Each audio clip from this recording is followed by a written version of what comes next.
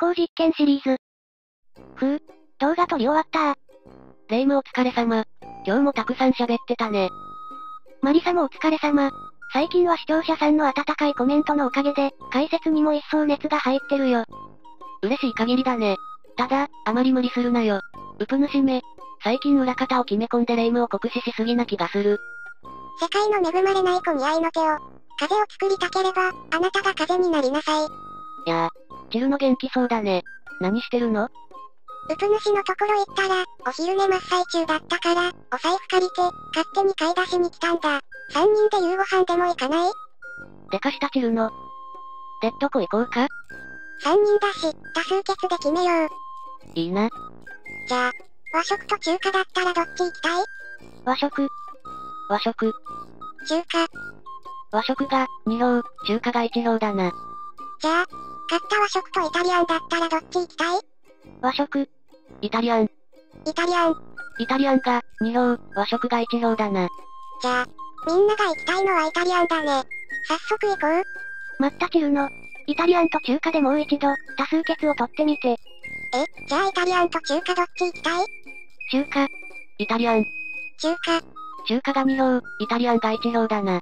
あれ最下位だったはずの中華が1位になっちゃった。どうして？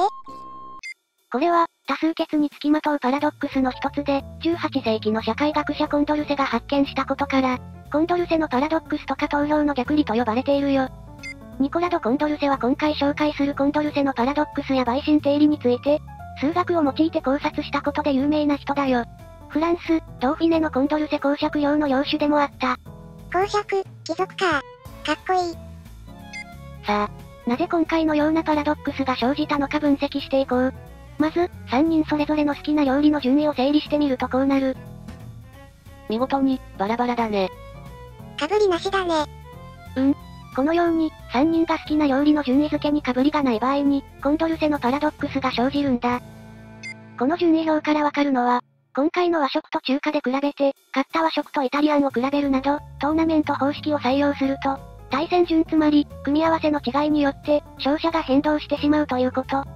そして、最後に私がイタリアンと中華の組み合わせの投票を提案したけど、すべての対象同士の組み合わせに評決を取る総当たり形式での投票を行わないと本当の順位を確定できないということ。この二つが読み取れるね。なるほど、総当たりで調べればいいのか。ただし、この方法は、実際の選挙などのように、比べる対象の数、候補者が増えると、決定までの時間が膨大に膨れ上がるという欠点がある。すべての候補者の組み合わせで順位を決定すると、スーパーコンピューターを用いても、次の次の選挙まで順位が確定できないという話もある。対象数が増えるにつれ、計算量が指数関数的に増加する組み合わせの爆発が起きてしまうんだね。うん、料理ぐらいなら総当たりで比べてもいいけど、選挙とかだと現実的じゃないね。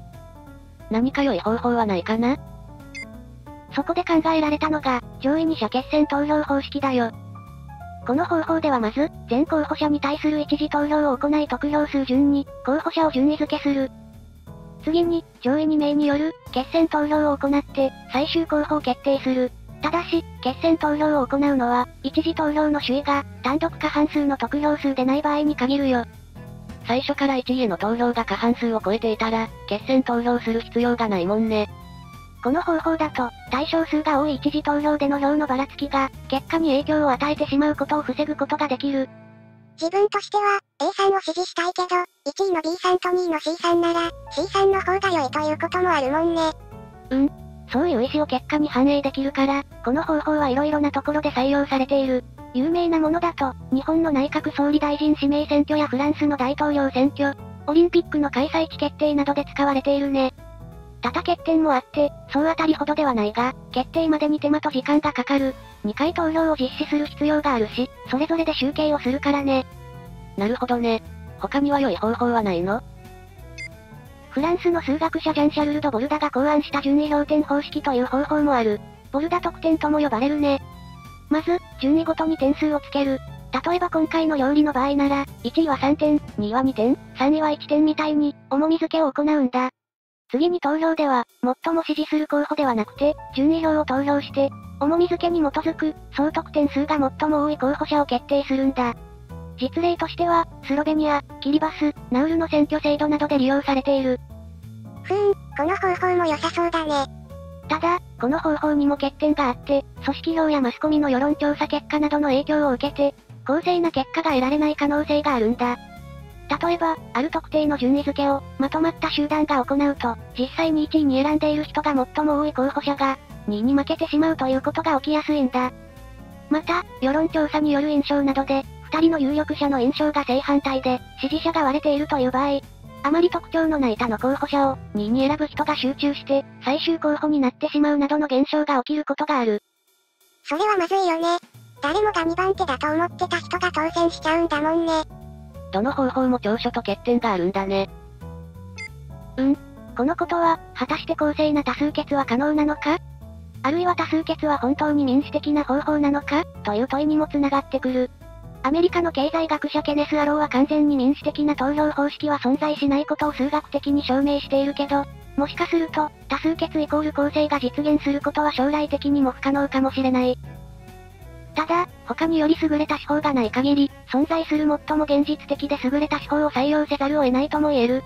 多数決原理は多数派による少数派の黙殺につながるという意見はもちろんあるけれど、今のところ、それに代わる原理で、多数決を用いないことによるデメリットを上回る新しい原理はなかなか登場しない。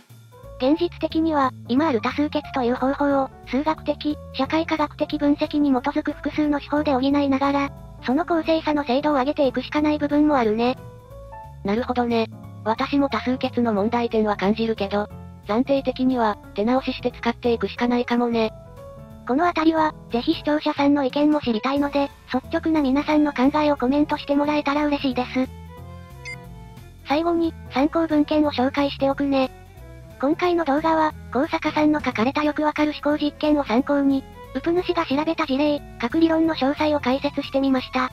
最近、視聴者さんから、日本語で読めて、哲学や数学に詳しくなくても楽しめる本はありませんかという、質問をよくいただくので、何冊か売れ筋のものを読んでみた中で、とても良かったのでおすすめします。2020年9月と割と最近に出た本なので、入手もしやすいと思います。興味のある方は、概要欄からチェックしてみてください。トロッコ問題やテセウスの船などは、この動画シリーズの中でも取り上げてきましたが、動画では哲学的な立場からの解説がメインなので、理系出身のサイエンスライターとして活躍されている方が、書かれたこの本との違いを比べてみるのも楽しいと思います。さて、どのお店に行こうか？いつも、大変なレイムが行きたい店でいいよ。うん、今日はレイムが行きたい店に行こうよ。ありがとう。じゃあ3人で実際のお店を見て決めようか？そうだね。それが一番だね。